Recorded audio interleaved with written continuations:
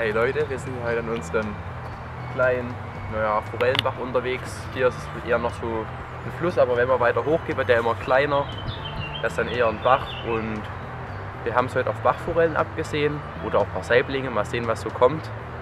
Und wir werden mit Gummifischen Wobbler angeln und ja, schauen wir mal, was geht.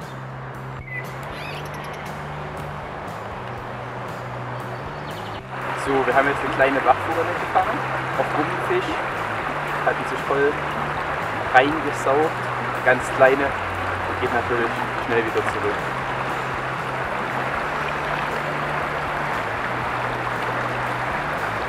Wir haben jetzt eine super geile Regenbogenforelle gefangen auf Gummifisch in einem tieferen Gumpen einer Brücke.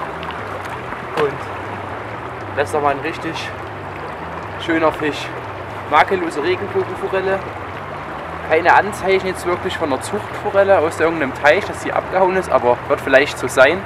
Aber trotzdem ist, die sieht wunderschön aus. Und die lassen wir wieder rein. Oh, das war knapp. Schwimmt wieder.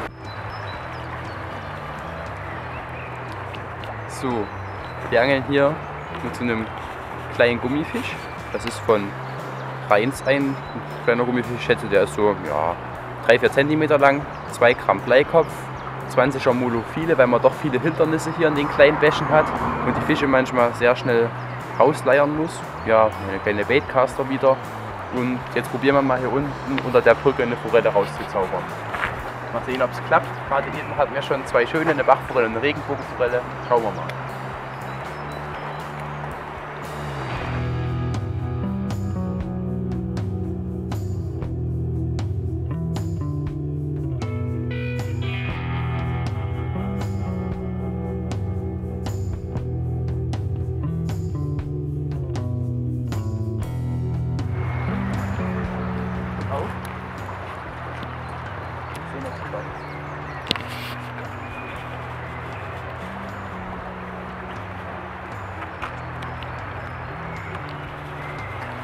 Mal vorbei. Ja, da hat sie voll gebissen.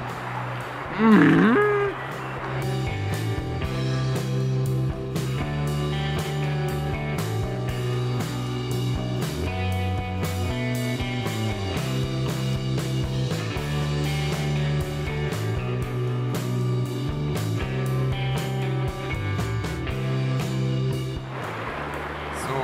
fischen an den kleinen Bächen hier überwiegend entweder mit den Gummifischen oder mit den Wobblern hier.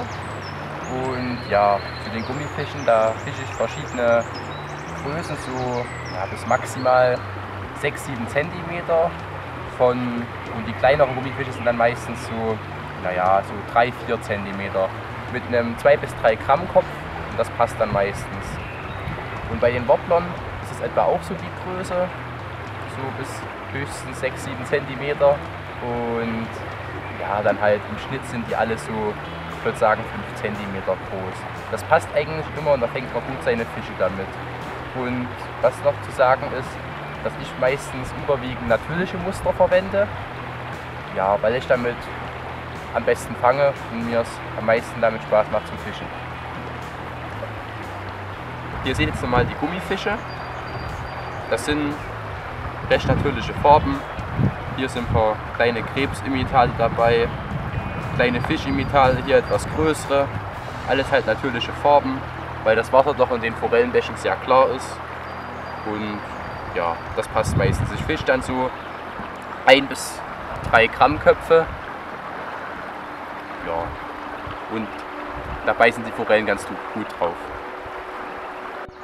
Das sind meine Wobbler, mit denen ich hauptsächlich in den kleinen Bächen hier fische. Ja, ein paar Tiefläufer dabei, um die Fische zu erreichen, wenn sie jetzt recht tief stehen, aber doch überwiegend recht flach laufende, weil die Bäche meistens so 20 bis 50 cm tief sind.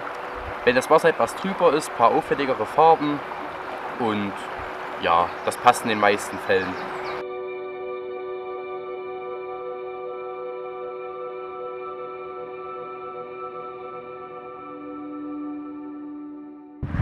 Den Stellen zu sagen ist, dass wir uns überwiegend tiefe Gumpen suchen oder wie man jetzt hier drüben gerade schön sehen kann, tiefe Rinnen, wo sich die Forellen gut verstecken können und Schutz finden.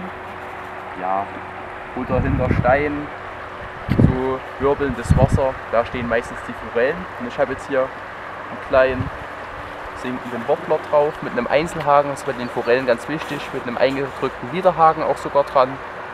Und das sollte passen. Schauen wir mal, ob wir die Forelle überlisten können.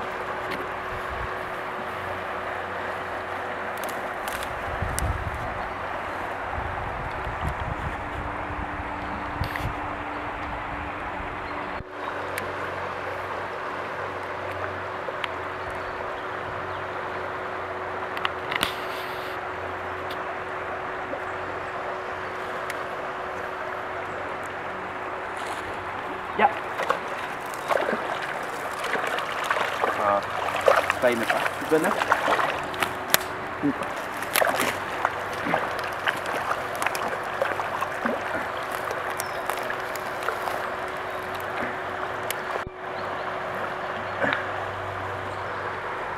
Wunderhübsche kleine Bachforelle. Und mit dem Einzelhaken ist es gar kein Problem, die zu lösen. Wir haben jetzt hier die kleine Bachforelle und die geht sofort wieder in ihr Element zurück.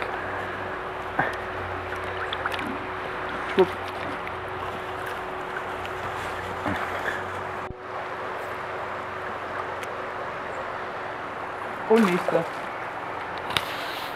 Ah, kleine kampfstarke Forellen hier. Hm. Immer schön die Hände nass machen, dass man die Steinhaut von den Fischen nicht verletzt. Ganz wichtig. Ach, schön ab, ja gut.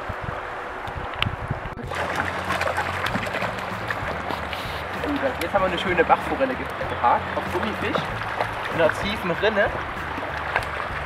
Und die hat sich voll drauf gestürzt. Ah, wunderschöner Fisch. Wunderschöne rote Punkte. Wenn das mal eine geile Bachforelle ist. Wir sind wieder am Ausgangsort angelangt, wo wir heute früh begonnen haben zu fischen. Ja, es war ein wunderschöner Tag. Wir hatten super Wetter. Die Forellen waren auch sehr bissig. Wir haben viele, viele Bachforellen gefangen. Auch schöne Exemplare, aber auch viele kleine, was dazugehört. Ja, die schöne Regenbogenforelle, besonders die, war sehr geil. Und ja, wir beenden jetzt hier unsere kleine Angeltour. Und beim nächsten Mal sehen wir uns, denke ich mal, vielleicht mit der Fliegenroute.